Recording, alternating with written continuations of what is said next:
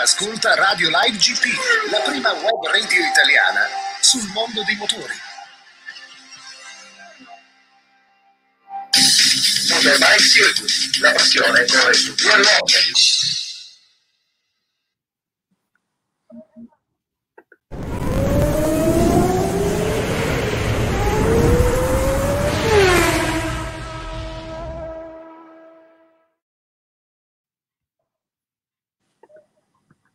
Amici di livegp.it, buonasera e benvenuti alla puntata numero 230 di Motorbike Circus, il consueto appuntamento del martedì sera dedicato al mondo delle due ruote. Marco Pezzoni, come sempre, in diretta con voi e eh, a farmi compagnia in questa diretta, lo vedete qua sotto di me, è Alex di Bisceglia. Ciao Marco, buongiorno a tutti. Avete già intravisto il primo ospite di questa, di questa puntata, che è Fausto Cresni, dopo lo introduciamo, ma prima di partire con la diretta, ovviamente i contatti, i contatti per seguirci, il nostro sito internet www.livegp.it eh, per tutte le notizie riguardanti il mondo dei motori, la pagina Facebook livegp.it sulla quale, sulla quale trovate la, la, diretta streaming di questa puntata, il canale YouTube sul, eh, perché siamo in diretta anche sul canale YouTube di livegp.it, eh, i contatti Twitter dall'hashtag la radio dei motori, chiocciola della GP per interagire da Twitter, Google, eh, Google Plus non c'è più, eh, tutti i social e anche il podcast su eh, Spotify. E ovviamente entriamo in diretta perché eh, lo riconoscete subito, è il team owner, chiamiamolo eh, team owner di Gresini Racing per quanto riguarda MotoGP, Moto2 e Moto3, ovviamente Fausto Gresini. Ciao Fausto! Ciao, ciao ragazzi, come va? Ben, benvenuto e bentornato a, a Motorbike Circus per questa prima volta visiva. Benissimo dopo, dopo, varie puntate telefoniche, è una prima volta visiva, visto che comunque eh, Fausto per quest'anno in circuito non ci si potrà vedere, per cui ci limitiamo. Beh, dai, ma, mai dire mai. Eh, mai ragazzi, dire mai, ovviamente. Volesse, allora, mai dire mai. O, ora esatto. partiremo così, ma poi magari strada facendo si potrà fare qualcosa di, di meglio. Quindi io non, non, non sarei ancora disperato fino a rassegnato. Ecco Intanto ci preoccupiamo però, Dai, cominciamo col preoccuparci, poi dopo vediamo se mai si migliora la situazione nel dubbio, intanto noi ci preoccupiamo. e allora, Fausto, iniziamo con le notizie di giornata, ovviamente il rinnovo eh, di, per due anni di Aleix con, con Aprilia.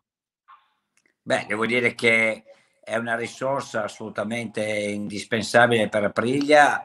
Eh, Alex ha dimostrato in questi anni grande devozione, passione e, e, attaccamento al marchio e anche diciamo ha dato molte informazioni, molte indicazioni per fare eh, sviluppare questa moto nella, nella, nella direzione corretta. Quindi eh, devo dire che è abbastanza naturale, un pilota che è molto forte, è veloce, ha voglia, è sempre, si mette sempre in prima linea, quindi come si faceva a non, non, fare. Credo che per Aprilia sia un punto di partenza molto importante proprio perché avere un pilota di esperienza, avere un pilota che conosce tutta la storia di Aprilia MotoGP praticamente da un po' di anni eh, è, è, fondamentale, è fondamentale per lo sviluppo, è fondamentale per, per arrivare a, ad avere dei risultati come, come Aprilia si aspetta. Alex, a te che sei quasi omonimo di Aleix. sì, eh, quasi, ma mi manca una I e circa 15 secondi al giro sul cronometro, che forse avrei la I rinuncerei, ma i secondi al giro me li prenderei volentieri.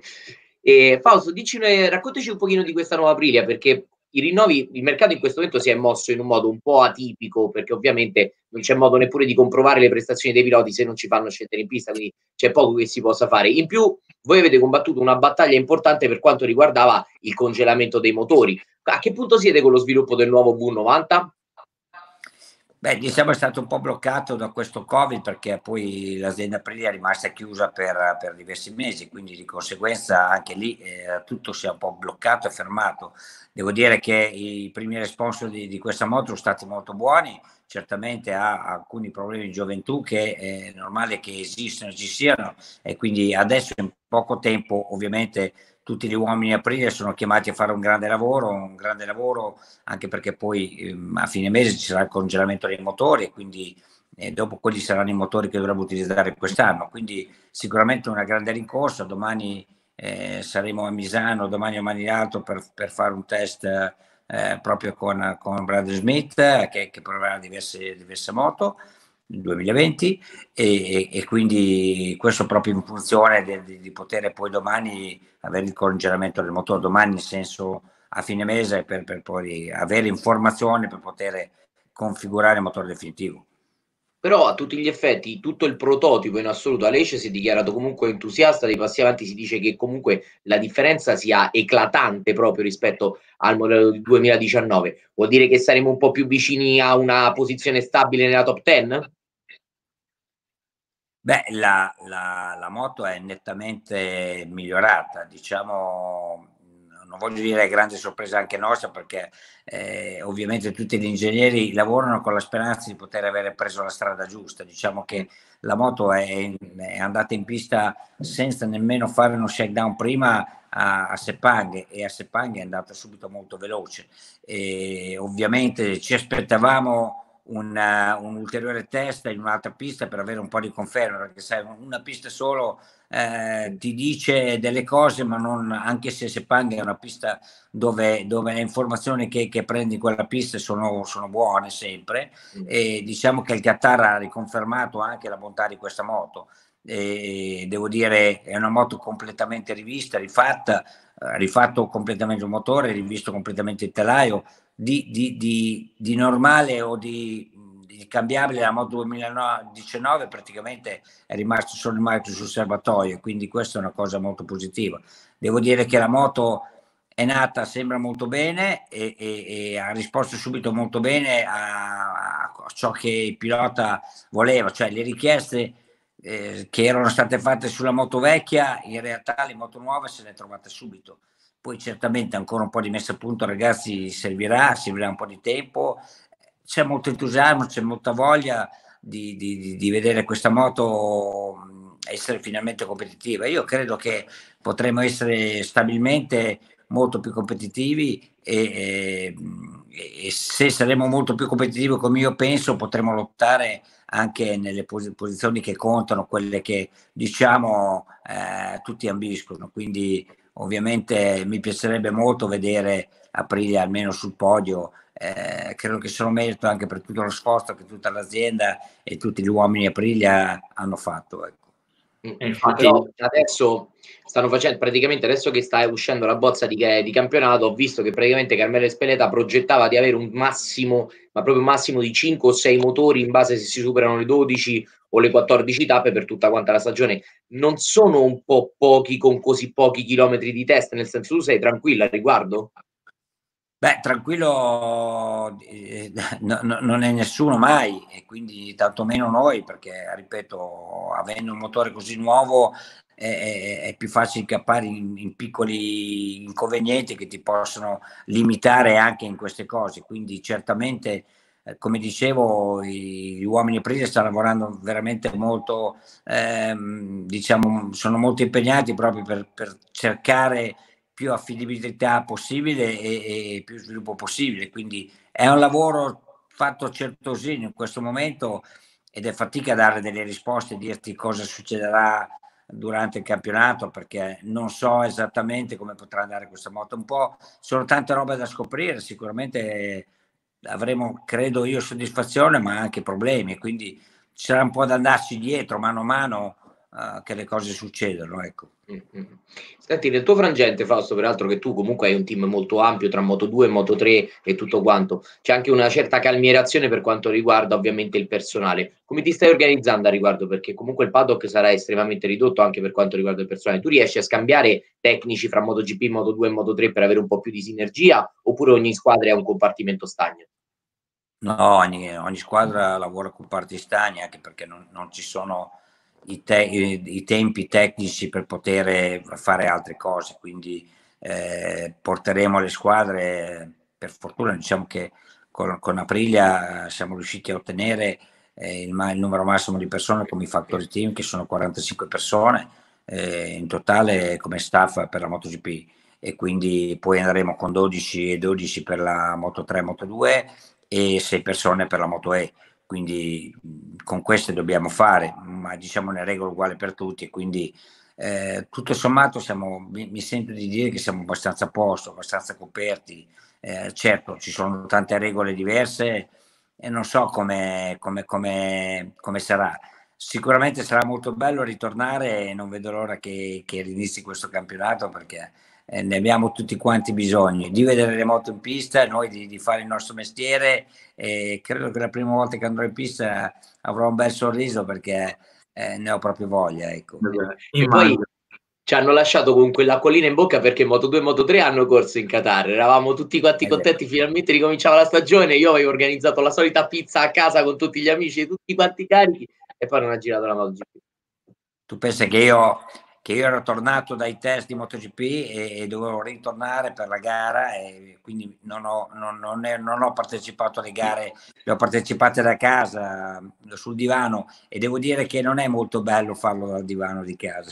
Non è, è la stessa, non è la stessa. Lo dice a noi che non ci fanno venire in pista quest'anno, esatto. noi siamo preoccupatissimi, guarda. Lo dicevo apposta perché vi volevo fare un po' di invidia.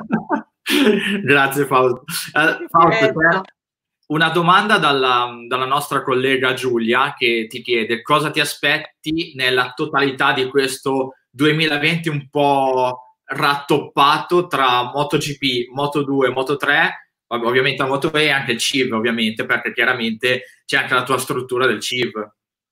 Beh, guarda, a partire dal CIV che, che è la prima categoria che, che, che correrà tra l'altro anche, Beh, io credo che abbiamo un, un buon team, beh, Zannoni non ha bisogno di, di, presentazioni perché è un pilota che ha vinto molto nel CIV e sarà la prima volta che correrà con i nostri colori. Io credo che eh, lui ovviamente ha un'esperienza, ovviamente ci aspettiamo molto da lui, vogliamo dargli una moto eh, competitiva e una moto per vincere e, e sicuramente ci proveremo. Poi abbiamo Natali, Natali che, che comunque è un debuttante, l'anno scorso correva nella, nella, nella Pre-Moto 3 e ovviamente è un debuttante in questa categoria. Purtroppo quest'anno abbiamo dovuto fare pochissimi test, eh, eh, quindi faremo proprio questa settimana il secondo test dell'anno e, e, e, devo dire che siamo un po' indietro per questo, per i ragazzi che non hanno esperienza ovviamente eh, sono, sono, girare sarebbe stato molto importante, però diciamo che è un po' così per tutti, quindi sicuramente avrei, avrà da sfruttare anche, anche Natalia un po' l'esperienza di di, di Kevin eh, che sicuramente gli, gli, farà bene. Poi eh, avremo John Bini con 450, sempre con telaio Honda, eh, con una moto per noi nuova. È un progetto che devo dire per tutti gli appassionati come me mi, mi, mi, piace perché c'è stato un bel po' da lavorare, vedere i miei ragazzi fare questa moto e, e metterla in piedi è stata una bella, una bella esperienza e quindi questo sarà un po', ovviamente con quattro gare sono un po' pochine, però eh, questo è, dobbiamo contentarci, è un, è un, anno, un anno bisestino, un anno particolare, quindi un anno strano. Eh, vediamo, vediamo intanto di, di cominciare.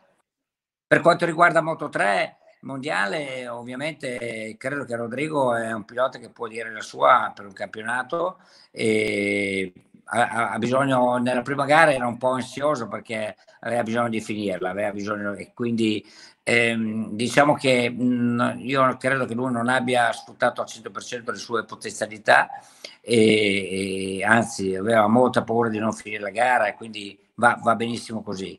Ha un compagno di squadra Alcova molto giovane ma molto irruente, molto, molto capace devo dire perché ha dimostrato al primo Gran Premio di andare già velocissimo e, e, potersi giocare già i primi, po- i primi posti di quella, di quella, categoria. Quindi devo dire che mi sento di, di, poter dire che ho una bella squadra, una squadra che potrebbe fare molto bene quest'anno e ovviamente il nostro obiettivo è sempre quello di, di lottare per il campionato del mondo. Per quanto riguarda Moto 2, Beh, abbiamo fatto un grande sforzo, eh, abbiamo raddoppiato la squadra, abbiamo portato Bulega con noi, un pilota che, che, ha un anno, sarà il suo secondo anno di, di, di Moto 2, speriamo che, che, possa evolvere velocemente, ovviamente deve conoscere un po' la squadra, tutto, e, e questo, questo, sicuramente eh, ci fa perdere un po' più di tempo. Devo dire che ha un buon compagno di squadra perché Edgar Pons è per me, oltre ad essere il campione in carica della Moto 2 Chev, è un pilota secondo me formato e, e buono, veloce. Credo che potrà fare molto bene anche lui. Ovviamente siamo un pelino in ritardo con, con, con le messe a punto, con, eh, diciamo, eh, è stato un anno difficile per noi, però siamo pronti e sono convinto che potremo fare anche qui bene. Non, non è che dico che cosa potremo fare, è difficile dirlo. Abbiamo dei piloti che possono anche sbalordirsi, come potremmo anche un po', un po' faticare, come abbiamo fatto nella prima gara. Sicuramente la prima gara mi sento di dire che non è nel nostro standard, noi possiamo fare abbastanza meglio, abbiamo sia organizzazione che sia capacità tecniche che background per poter fare molto meglio. Quindi dai, eh, noi siamo pronti, eh? siamo da un po' che siamo pronti. Però da tanto che siamo pronti. E invece per quanto riguarda la MotoGP, Fausto, cosa ti aspetti? Abbiamo parlato prima, ehm, però volevo tornare un attimo a una questione lo so che, eh, come dicevi prima, fuori, fuori onda, è un po' scomodo parlarne, ma voglio chiederti, perché arriva da, da Fabrizio, l'altro nostro collega, cosa ne pensi in generale della situazione di Andrea Iannone? Beh, ovviamente mi dispiace, eh, vabbè, spero che, che, che, che, finisca presto, nel senso che eh, almeno ci sia questa sentenza che sia definitiva che possa, spero io ovviamente, ma sono anche di parte chiaramente, eh, Andrea dimostrare la sua innocenza e nella speranza che possa ecco, ritornare a fare il suo mestiere. Questa è una mia speranza ovviamente. Ovviamente ci sono delle persone eh, competenti che dovranno giudicare questo e io non voglio entrare in merito ovviamente, però credo che eh, già un anno e mezzo è, è veramente tantissimo perché vuol dire due anni di, di attività e, e, quindi ora ne sono stati chiesti addirittura quattro. Eh, vuol dire che, che, che, la carriera di un pilota in quel caso è, è segnata, quindi ovviamente mi dispiacerebbe perché... Ecco, è ritornato. Non ti sentiamo? Ok. Sì. Però Fausto, a questo punto però viene un altro dubbio, nel senso adesso che è non stata chiesta questo... Ci senti? Marco, prova a vedere se sente te. Ci senti Fausto? Fausto, ci senti? È caduto. È caduto. Fausto? Eh. Eccolo. Mi senti? senti? Sì, sì. Fausto, hai mutato? Fausto? Ok. Eh, mo, noi ti sentiamo. Ti, se- ti, sentiamo, Fausto? Lui no. Io vi sento. Ah, ci senti? Pronto? Ci senti, Fausto? No. Ok. Aspetta, prova, prova a toglierlo e inserirlo, vedi se rientra. Aspetta. Eh. Vediamo. Il bello della diretta è uscito lui diretto, va bene. Eh. Ehm, no, era, interessante, era, interessante, in questo frangente chiedere una cosa importante, Marco, più che altro perché togliendo la... Io ormai ho terminato le parole per, per le sentenze che stanno dando Andrea Iannone, mi sembra una follia, però... Eh, no. cioè, però, però, l'anno prossimo facciamo, allora, no, facciamo dieci anni di pena. Sì, non è che... Vabbè, oltre. Il problema principale è che adesso nuovo, eh, questa nuova richiesta della WADA di eh, prolungare ecco ulteriormente. Fausto, eh, eccoci, eccoci, eccoci, ci senti? Scusate, non vi sentivo più. Eccoci. Fausto, chiedevo, no? Perché poi adesso facevo un altro tipo di ragionamento, lasciando perdere il contenuto della, della sentenza. Il problema è che adesso è stato chiesto, diciamo, un aggravamento, ha prolungato ulteriormente i tempi perché adesso bisognerà fare ricorso sull'ennesima richiesta della WADA e le tempistiche sono strette. Tu che cosa hai intenzione di fare? Prendi un sostituto per Andrea almeno per la prima gara perché difficilmente si riuscirà a fare in tempo, poi i tempi sono biblici. Beh, eh, aprile ovviamente, eh, allora la questione eh, piloti è legata soprattutto alla casa madre, quindi ad Aprilia, quindi è Aprilia che sceglie e che fa le sue che prende questo tipo di decisioni. E, ovviamente per quanto riguarda in questo momento Aprilia ha un collaudatore che è Bradley Smith e, e sicuramente sarà Bradley Smith a fare le, le, almeno le prime gare eh, o la prima gara insomma ecco quindi eh, speravamo di avere ovviamente sai qui cerchi sempre di, di, di allungare un attimo per capire se riesci a eh, ad avere una risposta definitiva nella speranza che magari possa andare bene per, per Andrea ed averlo di nuovo in pista, perché per noi è un valore molto importante, il valore di Andrea, averlo anche lui a fianco per lo sviluppo sarebbe fondamentale per, per, per per essere più veloci nello sviluppo, ma anche per avere più informazioni ancora. Quindi, sai, eh, lo, lo, lo, considero anche questo un danno non indifferente, soprattutto per una casa come Aprilia che sta sviluppando una moto nuova in questo momento e che ha fatto anche tanti investimenti, quindi difficili. In più, sai, prendere un pilota oggi non lo prendi perché non c'è di fatto. Eh, Ormai le sono tutte. Eh. Che, che, che possa eh, farti que- quella parte di stagione 2020, quindi ovviamente in questo momento uh, step by step faremo, faremo in funzione di quelle che saranno le informazioni che, che, che avremo da, da, da, dai vari enti per quanto riguarda la, la questione Andrei e noi. Sì, anche perché poi là effettivamente una cosa che riflettevamo, se non ricordo male, con Carlo Pernat l'ultima volta, è il fatto che comunque il danno non è solamente del campionato, il problema pure che mettiamo che annullano questa sentenza, cioè Aprilia e Gresini hanno effettivamente sostenuto un danno per quanto riguarda ovviamente l'assenza di un collaudatore che comunque si paga, nel senso in generale comunque lo sviluppo è una parte che ha un costo e che io non ho potuto uh, usufruire perché comunque hai fatto una sentenza peraltro per me assurda, però vabbè andiamo oltre.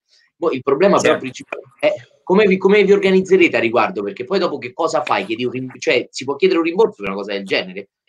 una no, giustificazione valida almeno. Francamente non credo, credo che l'unica roba che puoi fare è rivalerti sul pilota, ma però eh, insomma mi sembra che qui andiamo oltre a, a ciò che è di mia competenza, francamente, eh, perché ripeto, la, la, questione piloti e cambi anche piloti è una questione che riguarda Aprilia Racing, quindi, eh, però io credo che quello che noi dovremmo semplicemente fare è capire eh, appena abbiamo le informazioni, come muoverci. Se eh, avremo Andrea molto bene, saremo molto molto felici e se non avremo Andrea sapere eh, come fare eh, a ripararsi o comunque cercare di, di, di, limitare i danni il più possibile. Questo è l'obiettivo, ovviamente.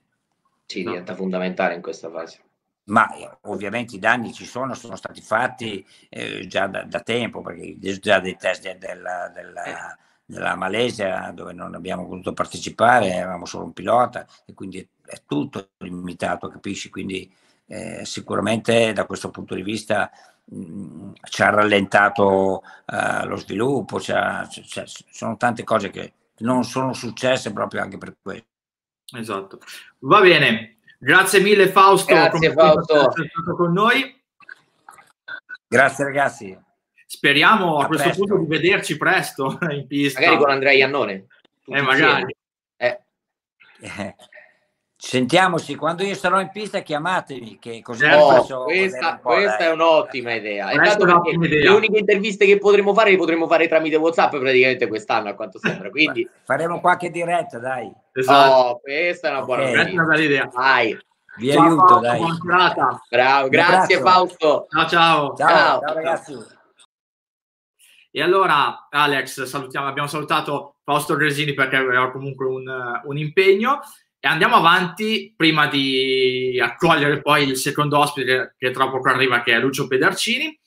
Alex, eh, dobbiamo parlare appunto di quello che sta succedendo anche intorno a Honda perché ehm, abbiamo forse la, la guerra tra Alberto Puig ed Emilia Zamora. Allora, Viene da ridere Marco perché mi viene da pensare che le persone quando hanno troppo poco da fare gli vengono in mente idee malsane. Adesso io dovrei capire esattamente ad Alzamora certe volte che cosa passa per la testa, perché la mossa che è stata fatta, che è fittizia quanto vuoi, perché è probabilmente fittizia quanto vuoi, genera un malcontento nei confronti della persona che gestisce colui che ti ha fatto vincere gli ultimi sei titoli mondiali. Che io dico proprio, ma cioè, mi sembra una mossa alla Ducati, se devo essere sincero, un autogol clamoroso a livello piloti. Quando ho letto Honda ho detto, vabbè, hanno sbagliato il titolo, e invece è stata proprio Honda. Andiamo a spiegarlo, praticamente c'è una, una sostanziale notizia che ha del, comunque dei, dei connotati di verità, anche se poi probabilmente non se ne farà nulla, però ci sono dei connotati di verità in cui Honda sembrerebbe voler avere nel 2021 Pole Spargarò a fianco di... Ehm, di Mark Marquez. Questo comporta tre fattori principali. Tanto per iniziare, KTM ha già smentito e ha detto che no, Pole Spargaro rimane con loro. E questo sembra anche una cosa, commento che è arrivato anche da Pedrosa e soprattutto da, eh, dai ragazzi del team. Anche Iker Buona dice che lo considerano comunque, diciamo, il fratello maggiore all'interno del team, quindi viene difficile. Poi scatta anche il discorso che non è meritocratica come decisione, nel senso che va bene, Pole Spargaro è un grandissimo pilota, ma potrebbe esserlo probabilmente anche Alex Marquez, che è un campione della Moto 2, e tu non hai neanche avuto il tempo di provarlo il pilota, non hai potuto proprio in assoluto eh, eh, dare a, ad Alex Marquez la possibilità di, far, di dimostrare effettivamente che non è lì perché è il fratello di Mark, ma perché è il campione della Moto 2, che anche quello ci può stare. In più, il terzo punto, quello più importante, è che tu ovviamente hai tirato praticamente, hai detto a Mark Marquez, guarda, tu qua dentro non conti nulla. E questo è clamorosamente sbagliato perché Mark potrebbe vincere anche con un monopattino alimentato a, um, ad aria fresca e quindi mi domando esattamente quale casa decida dopo peraltro anni di collaborazione. Cioè, Marco, ci pensi bene, la mossa è molto strana. Non, ha, non riesco a capire se è una cosa incentrata al fatto che eh, era necessario avere Alex Marquez per avere un rinnovo quadriennale con Mark oppure se stanno cercando in qualche modo proprio di indispettire Mark, ma un contratto quadriennale, per quanto possa essere lungo, ha delle clausole che prevede comunque la possibilità di scinderlo anticipatamente. E io presuppongo che Mark non abbia questo grandissimo problema a pagare eventuali penali in, in un uh, frangente del genere per il puro e semplice fatto che giustamente dice, eh, cioè è una mancanza, ma anche una mancanza di rispetto non è stato dato proprio modo a un pilota di esprimere le sue potenzialità prima ancora di trattare con un altro. Io il, il contratto annuale lo posso anche capire, ma quest'anno faremo 12 gare. Cioè, quest'anno non funziona così. È chiaro che in un'annata normale, in questo periodo dell'anno, probabilmente qualsiasi team comincerebbe a valutare le prestazioni del proprio pilota e a vedere se ci sono varie, valide alternative. Ma ormai a giochi fatti, a tutte le selle fissate per il prossimo anno e pure per quello dopo, spesso e volentieri, non ha senso fare una mossa del genere. Secondo me c'è qualcos'altro sotto. Non voglio fare il complottista. No, eh, da quello che si dice in giro, pare che ehm, Puig, lo stesso Puig, voglia disfarsi di Calcracelo che non è molto ben visto sia dallo stesso Puig che dai vertici di onda per critiche sì, capi- capisco che Calle è un pilota scomodo. La cosa bella di Cal Cracciolo che oltre a delle prestazioni parte molto bene perché comunque lui i suoi podi con LCR li ha fatti quindi già mi domando esattamente come fai a preferirlo a Takaki Nakagami che tutto quello che ti pare è più preciso e tutto quanto però è pure vero che non ha lo, la stessa velocità è inutile che ci prendiamo in giro. No. ma soprattutto Cal tra, cioè, tra due anni massimo si ritira. Non c'è neanche la fantasia di continuare a correre. E tu adesso crei un problema con Mark Marquez per toglierti Calcraccio. Chi... Ma... A me sembra, ti ripeto, sembra molto più un autogol clamoroso, ma proprio clamoroso a livello gestionale, che io un manager che mi fa una cosa del genere considererei effettivamente se si trova nella posizione giusta, perché hai appena indispettito il campione del mondo in carica degli ultimi sei anni che ha regolato tutta quanta la griglia di partenza. Ricordiamoci che adesso c'è un Fabio Quartararo molto in forma che potrebbe diventare un ottimo partito per quanto riguarda i prossimi anni. È un Mark Marquez che ti va in Ducati come in Suzuki, eh? vuol dire che tu Honda prima che rivedi il titolo, cioè tu ci vuoi anche Pole Spargaro, ma Pole Spargaro non basta. Eh? Esatto, infatti è quello che, è quello eh. che potrebbe, potrebbe succedere se andasse, se andasse così, ovvero un Arachiri di Honda eh, che si lascia scappare sulla carica e per, per, tornare a vincere deve, eh, dovrà, dovrà trovare il prossimo sì. top rider. Sì, ma tu Quartararo l'hai blindato in Yamaha perché Quartararo ormai gli hai dato il team ufficiale, ma dove va Fabio? Ha visto che con la Yamaha si trova bene, ha visto che Lorenzo con l'Onda non ci ha capito niente, non bisognerebbe fare proprio Alex, un pensiero ampio. Dobbiamo chiudere un discorso perché perché guarda un po' che eh, abbiamo. Eh, è arrivato? Abbiamo il team owner di Eccolo! per il Mondiale Superbike, è Lucio Pedercini. Ciao Lucio! Ciao, ciao a tutti. Ciao. Però aspetta, aspetta, Lucio, stavamo facendo adesso un piccolo excursus sulla mossa riguardante Pole Spargarò in onda MotoGP. Dici la tua da appassionato, dai. Ma non, non, sono per niente d'accordo, anche perché non hanno fatto neanche una gara, quindi c'è veramente una... Alleluia! Oh, la voce del buonsenso, lo vedi? Io l'ho detto, per me è assurda. Non, non si può dire che, che, Alex non l'ha meritato, che cioè, devono ancora fare una gara. Quindi non no, ma poi soprattutto ha indispettito Mark Marquez senza alcuna motivazione. C'è la persona che ha vinto gli ultimi sei titoli mondiali. Cioè, per me è, una, è un autogol clamoroso. Anche secondo me, anche se stanno dando molta, molta voce in capitolo ad Alberto Puig, che però boh, non, non, riesco a capire mm. come mai. Io ho, Ripeto, fatto una battuta, ho detto sembra, sembra, una mossa da Ducati questa più che da Honda per quanto riguarda la gestione dei piloti. Non, Ma, non, lo so, so che c'è stato un po' di... di Alberto ha fatto un po' di, di, di, casino perché so che anche lo, lo, l'ospitality HRC non, non, vuole, non ha più voluto gente italiana dentro nell'hospitality, un po' di... Vabbè, la, lasciamo... Che, che, cose che... Che bella che è la Superbike, Lucio, queste cose a noi non ce ne frega niente, il Superbike, guarda che bello. Sì, sì, guarda, da questo punto di vista... Esatto. Beh, ripeto, non, non, non, è un discorso mm, veramente che non l'ho, che non l'ho capita. Quando l'ho eh, letta, fossero, pensavo fossero quelle fake news che magari adesso escono e così dici vabbè ci sta è tanto per fare un po' di audience qualsiasi infatti invece poi alla fine adesso si, beh, cioè secondo me non, non, accade realmente lo scambio però cioè, il soltanto parlarne ha creato un, insieme, un effetto a catena successivo e veramente è andato molto più a discapito del team Honda stesso piuttosto che di un pilota singolo. Io mh, non l'ho capita sincero, non l'ho proprio capita. Ah no eh, cioè poi da un team eh, insomma non è da team HRC, no, no, eh, non da, da, un team eh, privato, da un team, eh, cioè, che poi di MotoGP non, di privati non c'è nessuno, quindi però magari era più capibile da, da, da, da qualche altro. Esatto, da, da HRC no. Bah, ripeto, come hai detto tu prima, cioè, dove hai un Mark Market che, che, che insomma penso che sia abbastanza intoccabile per HRC. Tu gli dai fastidio, giusto, giusto, tu gli dai fastidio. Ogni tanto bisogna, è come con le ragazze, ogni tanto le devi fare arrabbiare, se no non è più amore, capito? Eh. eh, però il rischio, il rischio però secondo me c'è adesso a fare oh, mo, mo che ti lascia il rischio c'è, poi devi stare in campana perché le top model ci mettono poco a trovare un altro con più soldi di te, eh. è un attimo. E allora, adesso che, che, abbiamo qua Lucio con noi, apriamo il capitolo Superbike perché, oh. Lucio, eh, anche voi siete quasi pronti a partire, quasi perché dico 2 agosto è qua, chiamiamolo qua, sì. nel senso, comunque 2 agosto c'è una data almeno.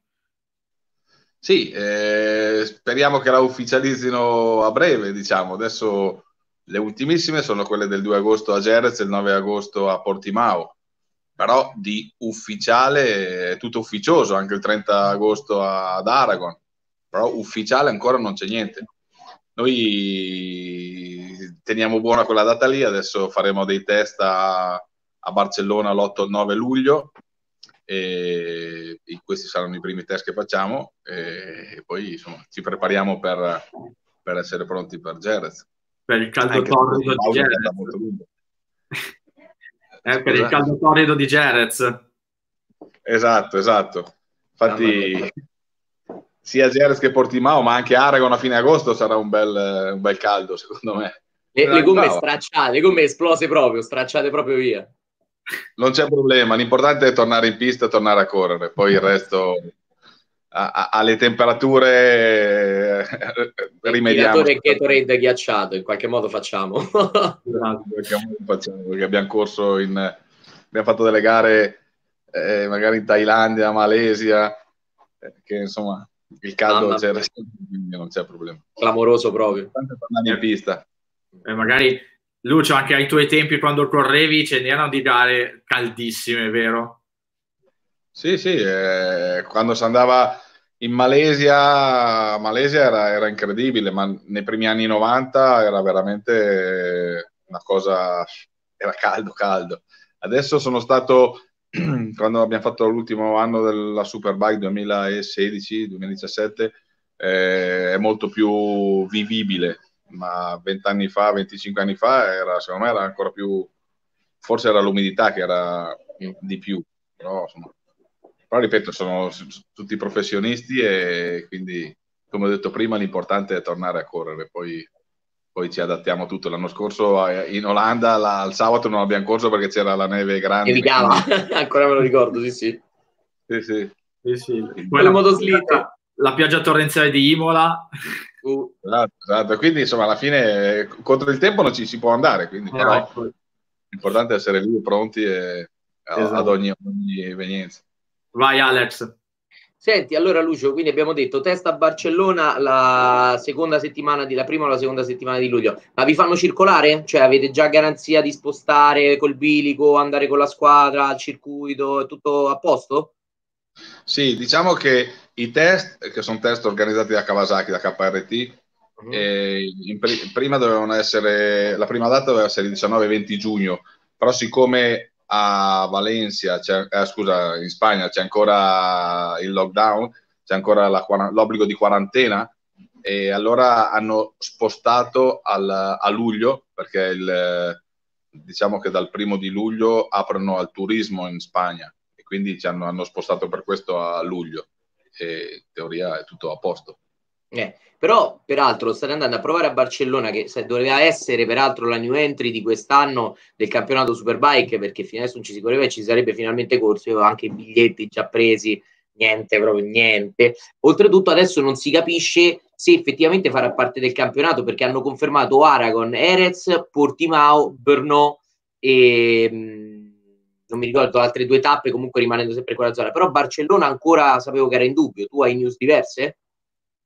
Eh, no, mi, hai, mi, hai, un po' spiazzato con Bernò. Io quella no. che so... so Avevo letto delle... Bernò che era confermata anche. Eh? No, Bernò per la MotoGP forse, Alex. E figurati se non ci vanno a correre pure sulla Superbike. Tanto rimangono 8, no, 10 circuiti in tutto quanto l'Europa dove andranno a fare magari doppia tappa.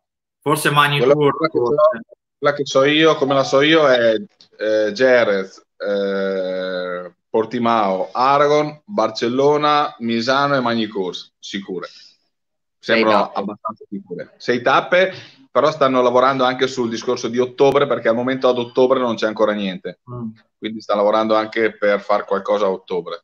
Però eh, che peraltro non... ci sarebbe Oschersleben che pure quella doveva essere l'ingresso di quest'anno, però probabilmente per la Germania è tardi. Il problema è che stiamo andando nel paese caldo nella parte invernale e ci stiamo andando d'estate. Quindi dopo, se lasci perdere la Spagna, anche Magnicur, cioè tu Magnicur a fine ottobre lo fai a nuoto non lo fai, cioè no, piove eh, matematico. Ma i CUR parlano come sempre al 4 di ottobre. Eh. E questa è la data che so io e la GP fa, e a Misano farà dopo la GP il 27 di settembre.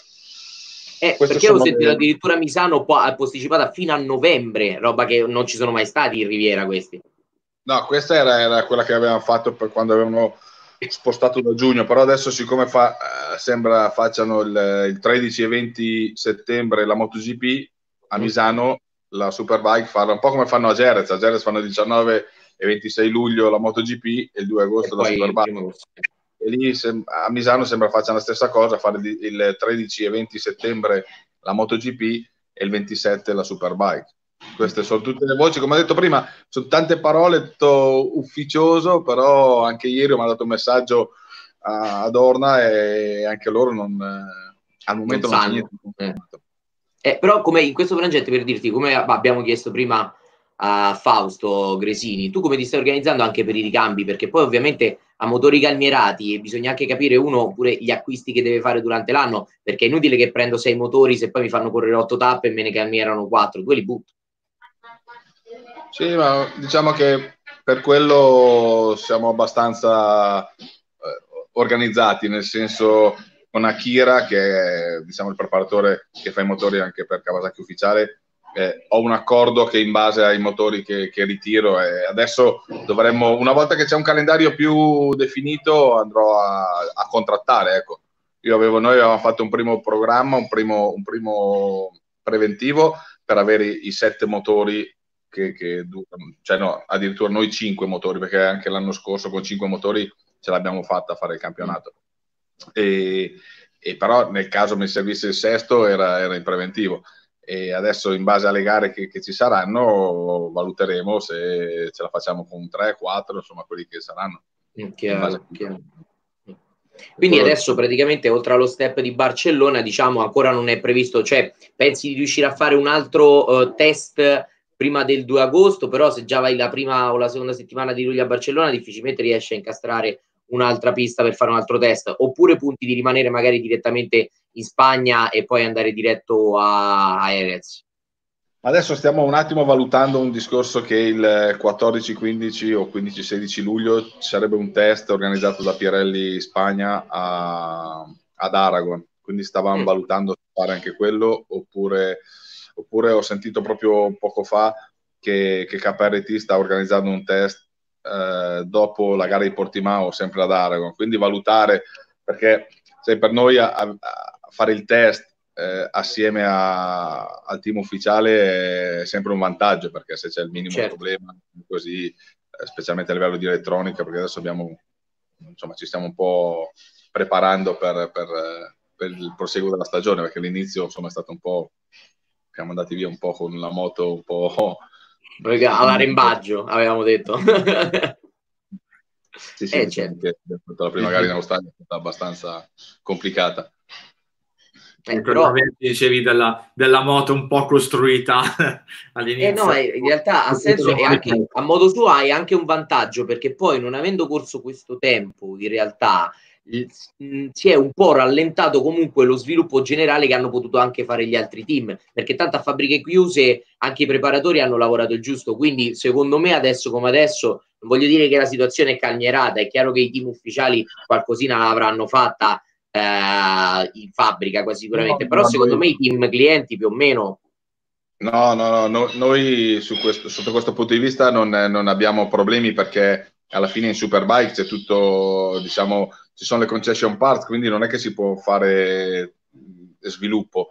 Cioè, come noi abbiamo il telaio Kawasaki, il forcellone Kawasaki, è, è una cosa, questo nuovo regolamento di Dorna sicuramente ha aiutato, aiuta i team, i team satelliti, diciamo, vediamo quello che ha fatto Manuel Puccetti l'anno scorso con Toprak che ha vinto le gare e è un team satellite perché la moto è, diciamo, è molto molto vicina all'ufficiale. Quello, la, il nostro vantaggio è che in Australia appunto siamo andati un po', è stata un po' un'avventura però eh, la tanta esperienza che, che, che abbiamo eh, ha, ha, permesso di avere tutti i pezzi, la, la, moto era a posto, insomma, non è che, che se no... Mancava la leva freno. No, no, infatti cioè, il motore era 2020, era già tutto, tutto a posto, ecco. Abbiamo solo un po' fatto i salti mortali e i miracoli per, per mettere insieme il tutto in, in, 20 giorni prima di partire, che partissero le casse per l'Australia, ecco. È quello chiaro, quello, quello, è sempre complicato. Adesso però tu che cosa ti aspetti? Diciamo che vai, ovviamente senza il primo test diventa complicato anche soltanto vedere, però a tutti gli effetti non proverete mai, escluso che con KRT sarà difficile vedere due o tre case provare nello stesso circuito. Si va diciamo un pochino alla cieca anche a Erez. Che cosa ti attendi da quella gara più o meno? Ma sai, allora, come ho detto prima, abbiamo un pilota che ha molta esperienza, Sandro, eh, perché in Australia eh, lui il team l'ha conosciuto a parte me e, e Luca, eh, il team l'ha conosciuto a Phillip Island. Quindi siamo arrivati lì, non era mai salito sulla Kawasaki, ha fatto i due giorni di test lunedì e martedì e poi in gara si, si, è, insomma, si è, messo in luce, molto, secondo me ha fatto molto bene, non era allenato, ha avuto un intervento chirurgico alla spalla e quindi eh, ha faticato a, in gara 2 alla domenica che se no insomma, poteva fare anche qualcosa in più quindi eh, io sono molto, molto fiducioso perché questa è stata la prima gara, è stato proprio un, come un, un, test per noi e secondo me l'abbiamo, l'abbiamo superato molto bene e, e, adesso dobbiamo solo migliorare quello che, che, abbiamo fatto vedere in Australia. E ripeto, io sono, sono molto fiducioso perché, ripeto, quando, quando hai gente di esperienza eh, riesci più velocemente ad arrivare al dunque. Poi la moto, insomma, eh, grazie all'aiuto di Kawasaki, eh, insomma, siamo, la moto è, è competitiva, quindi siamo, eh, infatti, siamo... parlaci un po' della Kawasaki 2020, va, visto che siamo in tema. Com'è la nuova Kawasaki? Che differenza hai notato? Ma no, beh, non, non, è cambiato molto, eh, è cambiato solo a livello di motore, perché poi il resto motore ha cambiato qualcosa, però pochissimo. Mm, diciamo che la moto è, è già a livello ciclistica è già un, un po' di anni che, che insomma ha sempre è quella. sua, perché anche l'anno scorso le prime gare quando, quando Ducati era a livello di motore era molto superiore, eh, però a livello di ciclistica quando c'erano le piste guidate ha fatto vedere insomma, che la moto non, si avvitava su se stessa. Esatto, esatto, quindi hanno, hanno, migliorato un po' il discorso motore, hanno, hanno migliorato un, un, pelino l'elettronica, però diciamo che la moto è, è sempre stata molto competitiva. Sì, no, il pacchetto di base in realtà... Scusa? No, il pacchetto di base in realtà è ottimo secondo me, soprattutto Kawasaki ha un'ottima media nel senso, infatti l'unico problema reale di Kawasaki secondo me negli ultimi anni è stato quello di perdere Toprak, peraltro per una cosa collaterale come la 8 ore di Suzuka, che non è stata proprio una mossa pure quella particolarmente, come dire.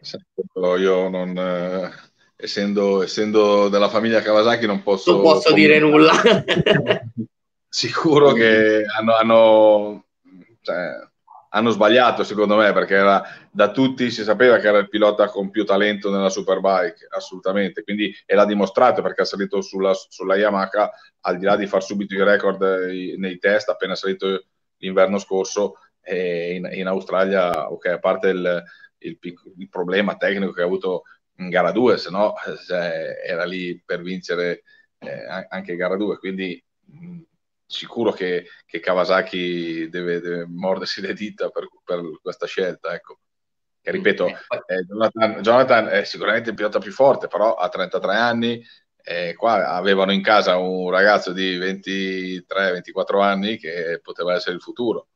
E invece, eh, infatti, cioè, è, è, stato... Poi, peraltro, problema tecnico: in realtà Yamaha hanno sbagliato la quantità di benzina, è rimasto senza benzina. È rimasto, eh. Cioè... Eh, no. Allora, eh, sì, senza benzina è stato un errore di uno dei ragazzi, il meccanico, eh, purtroppo succede, come, come, sai, come, sbaglia il pilota può sbagliare il meccanico, non, è normale che non è stato... È stato sì, ma mancavano due, due, giri e mezzo, mancavano, non è che mancavano 400 metri che dici, oh, due gocce in meno, ecco, fate, no, mancavano no, due no, giri. Ah, ma lì hanno sbagliato a fare la tara della, della, cosa, hanno misurato la benzina col cavalletto e cioè, alla fine quei due chili e mezzo, due del, del, del serbatoio, cioè, ha sbagliato, è stato un errore. Però ripeto, eh, Capita, che questo, non lo farà mai più questo, questo errore. Di, di quel meccanico adesso c'era, c'era, un pilota, non ricordo chi, che praticamente era in testa in pista, per, peraltro della Superbike, dice che praticamente ritornò dopo un giro con il tappo della benzina che si era sfidato e tutta la benzina davanti. Così gli chiesero, ma vuoi cambiare il meccanico? Dice, no, perché sono sicuro che non lo farà mai più. Quindi in quel momento tu ti puoi fidare di più di quel meccanico. Eh, non so se ricordate, io c'ero e e ci ho corso, ma Eddie Lawson quando a Laguna Seca aveva perso le pastiglie perché il meccanico non aveva stretto, non aveva stretto le, le, le, pastiglie di freni davanti e poi dopo volevano, la Yamaha voleva cacciarlo, sto, sto meccanico, Eddie, gli ha detto no, io lo voglio perché questo qua sicuramente non sbaglierà più. Quindi sai... Eh, forse non succedono, però purtroppo sai, siamo, sono, sono persone umane. Ripeto, quello è quello che io nella mia squadra ho sempre, eh, ho sempre eh, si cerca sempre, ma tutti, no, non solo io, anche sicuramente anche Yamaha l'ha sempre fatto, il discorso che il meccanico è importante quanto il pilota e quindi dopo, anzi, a volte più, magari più importante. E, e quello che c'è da fare è l'essere, dare il 100% tutti, dal, dal gommista a quello che pulisce le carene, al cuoco, a, al ragazzo che lavora in sala della, dell'hospitality, tutti per quei quattro giorni lì devono dare il 100%. E poi dopo la domenica sera, ok, se tutti sono consapevoli di aver dato il 100%, secondo me eh, tutti siamo contenti. Eh, se uno non, non dà il 100% non va bene. Esatto. Allora, Lucio, nella... apriamo un attimo eh, lo scopo di averti qua con noi, oltre a, oltre a, parlare anche di attualità di Superbike, è anche parlare un po' di raccontarci anche qualche tuo aneddoto un po' dei tuoi anni passati come pilota in Superbike. Apriamo un po' il tuo album dei ricordi, Lucio. Eh, è un po' grande, cosa, sai, cosa devo dire? È il mio album dei ricordi. Ho fatto ho fatto dal 98 al 2006 in Superbike. Uh, 2006, diciamo, ho fatto solo le prime due gare del 2006 perché la terza in, in Spagna Valencia sono caduto nelle, al venerdì pomeriggio e mi sono, mi sono rotto, che è stato un po' il, il, l'infortunio che mi ha fatto interrompere la mia carriera. e quindi ho fatto 176 gare di, di mondiale Superbike con la, con la Ducati e insomma, in quegli anni lì sono stati momenti belli, momenti brutti, come un po' in tutte le, le carriere, penso, dei, dei, motociclisti. Qual è stata la, la, la, moto più bella, diciamo, Ducati che hai guidato? 998. 998 è una moto che era... Eh, dopo eh, ero riuscito a creare un, un, un feeling molto, molto forte, era, era, mi sentivo un tutt'uno con, con, con quella moto lì. E era molto sincera sull'anteriore, riuscivi a fare abbastanza quello che, non dico quello che volevi, però era, era veramente molto molto sincera e mi piaceva tantissimo. Poi, come sapete, io non ho mai guidato moto con elettronica, quindi era tutto, era tutto il polso e, esatto. Quindi, Sai, purtroppo succedeva. Eh, quella allora, l'altro giorno stavo rivedendo Imola 2001, quindi il primo anno della Superbike a Imola. Come, perché siccome mi vorrei comprare un RSV2 stavo vedendo come erano i risultati peraltro in campionato di Aprilia, poi abbiamo visto che quelle sono proprio modo totalmente diverse, però ho detto vabbè mi faccio un'idea. Com'è stato la prima volta di Imola per i piloti della Superbike? Perché quello è un circuito che veniva dalla GP, da, da, quando c'era la 500 e poi dopo non ci si è corso per un po' perché comunque è un circuito un po' uh, complicato, mettiamolo così. Dice, ho visto c'erano tipo 90.000 persone al primo appuntamento di Imola e rischiamo quest'anno di non vederla. Com'è stato Imola Illo Tempore, eh, Lucio? Ma sai, eh, io ho un po' di capelli bianchi. Io Imola ci avevo corso il primo anno nell'88 con l'RD 350 e quindi la, che però era, era, diversa perché c'era ancora, c'era ancora il tamburello, c'era ancora sì, la, la, la prima curva del tamburello, c'era, era un po' diversa, non c'erano le prime varianti. Poi ci ho corso con la, con la 500 io, con la 502 tempi nel 96 e nel, mi, sa, mi, sa, anche il 97. Ho fatto quei due anni lì con 500, perché con 500 eh, ti assicuro che era molto più complicata a, a guidare, specialmente nelle... E poi nelle... fermati alle varianti le varianti erano un casino col 500. Quindi diciamo che quando sono arrivato lì col Superbike è stata, non dico facile, perché tutte le piste sono abbastanza difficili, Imola, però rispetto alla 500 era sicuramente più, più guidabile. Poi sai, noi è stato bellissimo Imola, però io ho, ho l'esperienza anche di Monza, che anche a livello di circuito Imola secondo me è 10 volte meglio a livello di guidarlo come pilota, però anche, anche, il calore che c'era a Monza è sempre stato bello, diciamo, per, per la Superbike. Erano due, due gare veramente in, interessanti e, e piacevolissime andare, andare a correrci, ecco.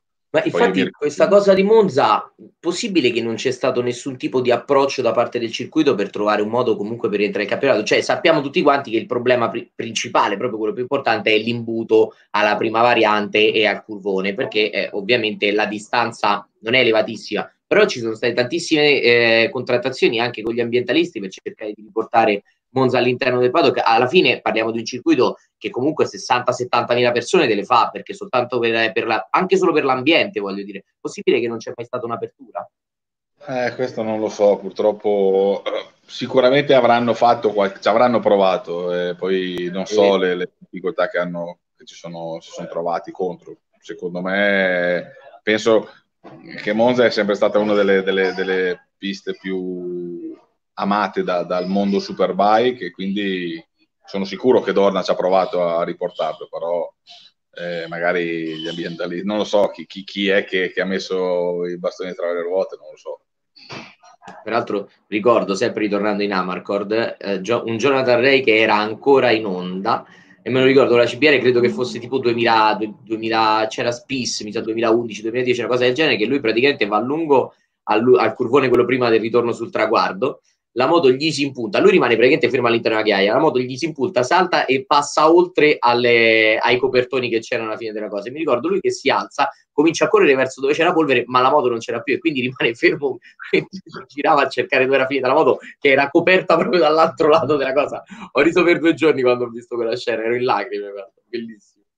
Eh beh, sai, succede, a me è successo nel, nel 96 al Mugello col 500 mi aveva nel warm up della domenica mattina alla Bucine mi è, mi è entrato dentro Okada con la onda ufficiale e, e quindi ce l'avevo alla mia sinistra, non riuscivo a entrare dentro in curva, quindi ho impostato un po', un po largo e c'era una buca, mi si è chiusa davanti e ho ruzzolato un po', poi quando mi sono alzato cercavo la moto, non c'era, e praticamente era andata dietro le, alle gomme dove c'era la, meno male che c'era la rete, che c'era la, l'arrabbiata sotto.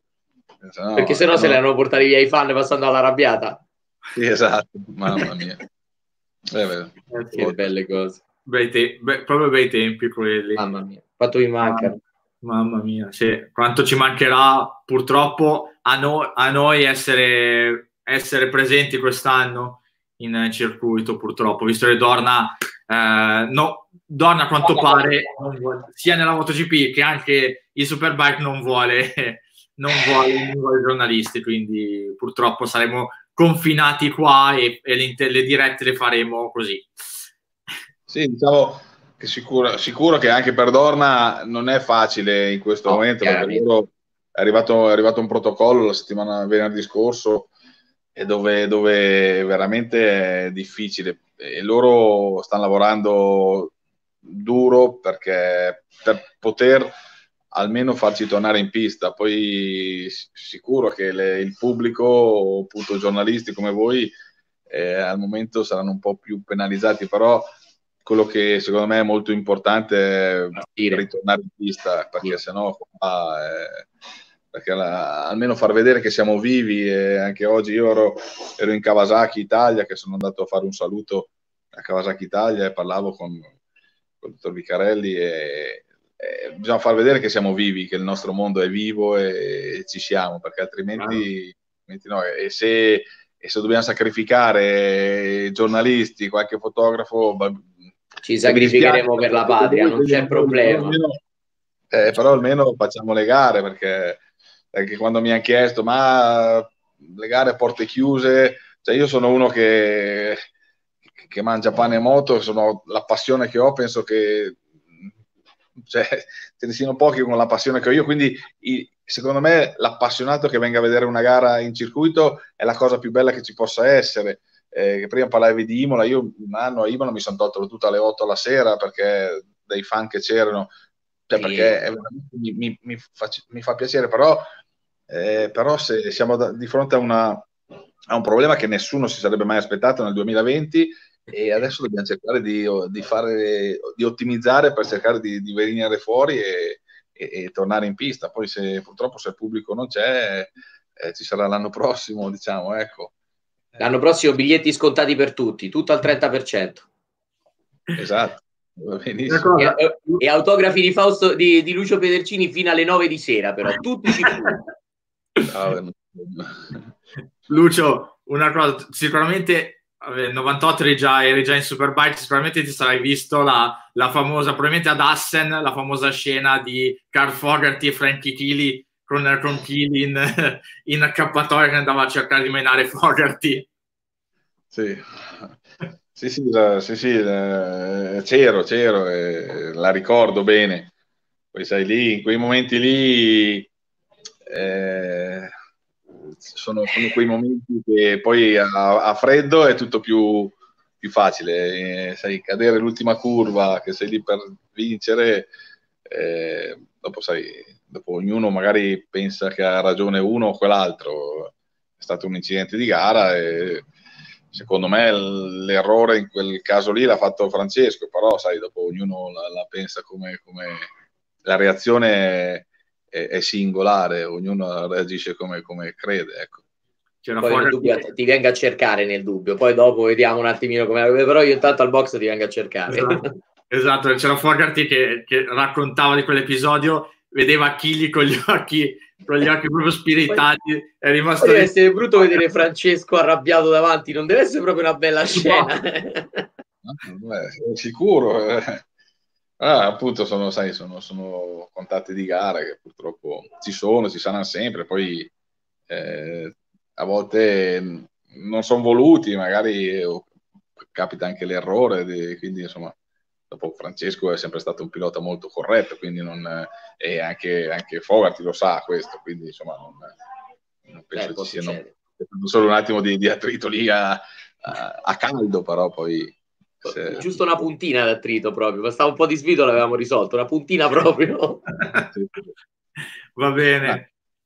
Eh, succedono, succedono. Anch'io, uh. anche a me è successo una, una volta sempre ad Assen contro i Corsair che, che, ho avuto un attimo di piccolo diverso. Mi è passato, io stavo facendo il mio giro veloce, lui, lui da dietro arrivava, andava più forte, lui era con la moto ufficiale, io e quindi mi ha passato prima del curvone, dell'ultimo curvone e poi mi ha fatto il dito. E allora è, è entrato in box. E alla fine sono entrato in box anch'io.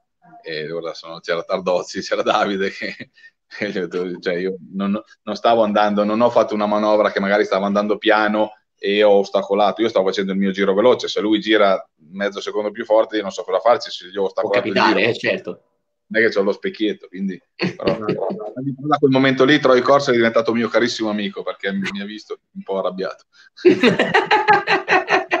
eri un, un'antichietta alterato, come si dice a Roma, proprio una puntina proprio. Esatto. Beh, la calda dopo un giro veloce, amico mio, eh. poi dopo la rischi, eh. sì, sì, era, era così. Aveva la moto ufficiale. la Superbike quella senza filtro. Esatto, sì, vecchi, quei vecchi tempi lì. Poi sono finiti, peraltro, sempre ritornando al discorso della marca, sono finiti praticamente con l'ultima, diciamo, effusione un po' più forte che abbiamo visto, che è quella Biaggi Melandri, credo sempre ad Assen, può darsi che sia Assen il problema, cioè in no, Olanda no. c'è un po' più di... Non era no, Assen, dove era? Era Donington, era Donington. A Donington, bravo, era Donington Park. Era, era Donington Park. In qualifica si sono beccati Max che si è trovato Melandri che stava davanti con la, con la Yamaha o con Yamaha o con BMW, non mi ricordo. No, con Yamaha. Con la Priglia. Con Yamaha. Era, il primo, sì, era l'anno di Melandri che aveva debuttato in, in Superbike con, con Yamaha e si sono, si sono, trovati nel box perché c'è stato un alterco e Biaggi ha mollato uno schiaffetto a Melandri. Una, una che poi Melandri gli andava sotto col sorriso forte telecamera Max però non è propriamente uno di quelli tranquilli che, che la, la, dà giù tranquilla perché c'è la telecamera. Eh, nel dubbio gli ha data, come si dice a Roma. che bei tempi ragazzi. Mamma mia. Succedono, dai. Esatto. Va bene. Grazie mille Lucio. Anche Grazie per Lucio. tuo album dei ricordi. Eh beh, l'album ti ho detto c'è, ce n'è da sfogliare, ci sono un po' di cose, sarebbero, ce ne sarebbero di cose da dire, da, però serve troppo tempo. Alt- abbiamo altre puntate, non ti preoccupare. Tu segna di tutto quello che tieni in mente che andiamo ad altre puntate e facciamo i capitoli. Facciamo. Ah, esatto. bene, Lucio racconta, Lucio Pedercini racconta. buona serata Lucio, grazie. Ciao Lucio. Grazie, buona serata. Ciao. Ciao, ciao. E allora Alex, in chiusura, in chiusura...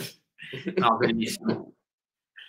No, è, è, è, bellissimo perché poi io mi immagino, mi immagino una scena, cioè andiamo tutti nel traffico con la moto, quindi ti può capitare effettivamente che qualche incomprensione con qualche... Ma io immagino che mentre sto là a tirare uno mi passa e, e, mi manda anche a quel paese e stava pure andando più forte di me. Cioè poi dopo l'altro dico, ma, ma esattamente, ma che cos'è? Che, ma che ti dovevo fare?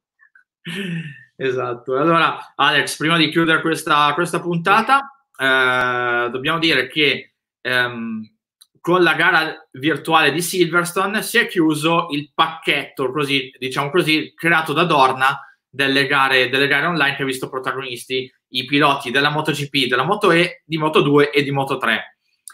Nello specifico, il titolo platonico di campione di queste gare virtuali va ad Alex Marquez che si prende il titolo ma perde la moto. Eh. Esatto. Bello, bello.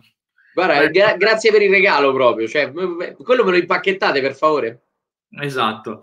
Um, poi è vicino l'accordo, molto vicino l'accordo tra Valentino Rossi e il team Petronas con Razzali. con Razzali che dice sì, è molto molto vicino e manca alla prima gara, probabilmente dopo la prima gara potrebbe esserci già la, già la firma e tra l'altro Fabio Quartararo consiglia proprio a Valentino di, eh, di, scegliere proprio il team Petronas perché comunque sono un team molto, molto preparato. Sì, è carina la cosa che sia un ragazzo di 20 anni che consiglia a Valentino Rossi il team. decisamente carina. E allora, Alex, siamo agli sgoccioli di questa puntata. Intanto mi ero dimenticato di eh, salutare Giorgio Miotto che ci aveva mandato un commento, un saluto eh, durante la, la, Con Davide Giuliano in foto, bravo. Sì, con, Davide Giuliano, durante la, la diretta con, con, Lucio Pedercini. E allora, eh, vediamo se abbiamo dimenticato qualcosa, qualche altra notizia. Ovviamente ne abbiamo parlato prima con, con Fausto del caso di Andrea Iannone. Eh, quindi direi che eh, siamo proprio agli sgoccioli, Alex, di, di, questa, di questa puntata.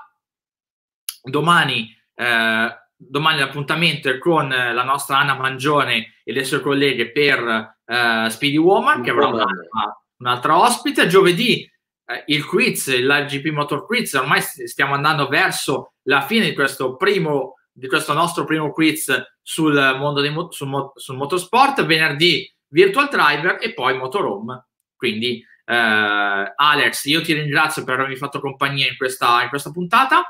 Grazie a te, Marco, e ci sentiamo per martedì prossimo. E anche da parte mia, Marco Pezzone tutto, un saluto e alla prossima. Ciao ciao!